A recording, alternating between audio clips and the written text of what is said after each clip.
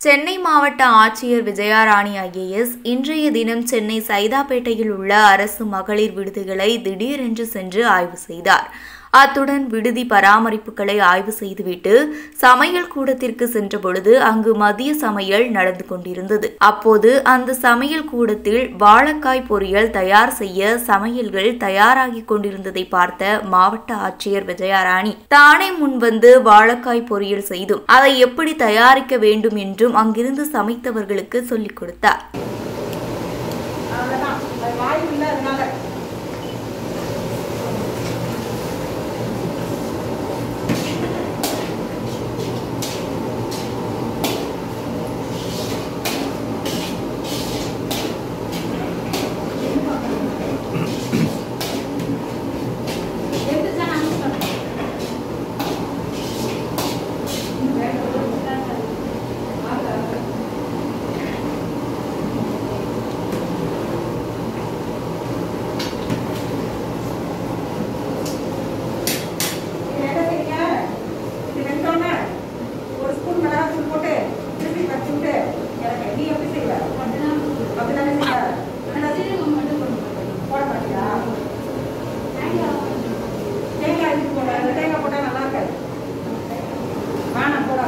இதுபோன்ற செய்திகளை மேலும் தெரிந்து கொள்ள எங்களது யூடியூப் ஃபேஸ்புக் மற்றும் ட்விட்டர் ஆப்களை சப்ஸ்கிரைப் செய்யவும்.